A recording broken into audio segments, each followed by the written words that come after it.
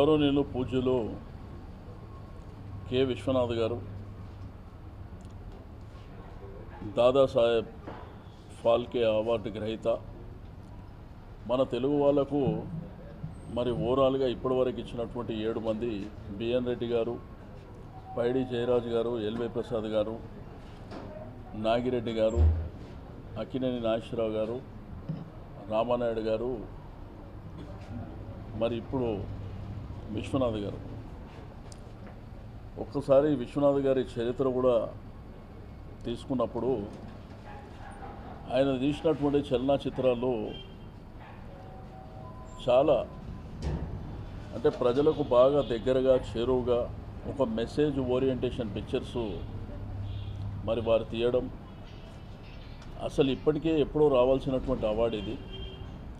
Late అయినప్పటికీ ఒక మంచి నిర్ణయం తీసుకొని మరి వారిని గౌరవించమనేది ఈరోజు రెండు రాష్ట్రాల్లో ఉన్నటువంటి తెలుగు వాళ్ళు ప్రపంచంలో ఉన్నటువంటి తెలుగు వాళ్ళకి అందరికీ ఒక గౌరవంగా భావిస్తూ ఉన్నాం. మరి ఈరోజు వారి ఇంటికి వెళ్ళి వారికి సన్మానం చేసి రమ్మని చెప్పి ముఖ్యమంత్రి గారు చెప్పడం జరిగింది. తప్పకుండా తెలంగాణ రాష్ట్ర ప్రభుత్వం ఇటువంటి గొప్ప వ్యక్తుల గురించి మరి ప్రభుత్వం తరపున కూడా ఒక కార్యక్రమం తీసుకోవడం. రెండోది ఈరోజు తెలుగు చలనచిత్ర పరిశ్రమ కూడా మూడు పువ్వులు ఆరు కాయలుగా వరదిల్తున్నటువంటి శుభ సందర్భం. ఈ సంవత్సరం కూడా మంచి బ్రేక్ వచ్చినటువంటి విషయం. అయితే విశ్వనాథ్ గారి చరిత్ర తీసుకుంటే ఎన్ని సినిమాలు తీసినా కానీ మెసేజ్ ఒక మంచి మెసేజ్ ఇవ్వడం. చాలా చిత్రాలు వచ్చినాయి. మీకు స్వర్ణ కమలం కానివ్వండి మరి చిరంజీవి గారితో అనేకమైనటువంటి చిత్రాలు వారు చేయడం జరిగింది. మరి ఏ సినిమా తీసినప్పటికీ ఈరోజు సమాజంలో ఉన్నటువంటి ప్రతి ఒక్కరు ఒక ఫ్రైడ్గా ఒక గొప్ప చిత్రంగా భావించే విధంగా విశ్వనాథ్ గారిని మరి గుండెల్లో పెట్టుకొని చూసుకున్నటువంటి అభిమానులు మన తెలుగు వాళ్ళు ఎంతోమంది ఉన్నారన్నటువంటి విషయాన్ని కూడా నేను ఈ సందర్భంగా తెలియజేస్తూ మరి అటువంటి వ్యక్తిని గౌరవించడం ఈ వచ్చి వారిని కలవడం అనేది కూడా మా అందరికి అదృష్టంగా మేము భావిస్తూ ఉన్నాం.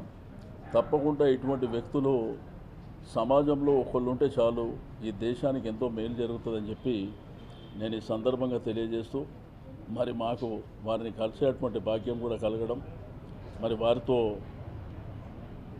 మరి మొన్న జరిగినటువంటి అవార్డు విషయంలో కూడా చాలామంది పెద్దలు కూడా రావడం ఎంతో సంతోషదాయకం అని చెప్పి నేను ఈ సందర్భంగా తెలియజేస్తూ మరి తప్పకుండా ప్రభుత్వం తరపు నుండి ఒక కార్యక్రమాన్ని బ్రహ్మాండంగా నిర్వహించడం జరుగుతుంది అతి త్వరలో అని చెప్పి నేను ఈ సందర్భంగా తెలియజేస్తాను.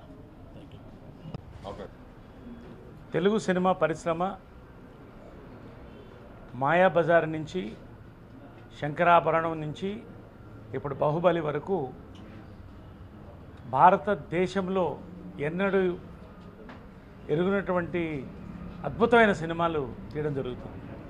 అటు కేవీ రెడ్డి గారి దగ్గర నుంచి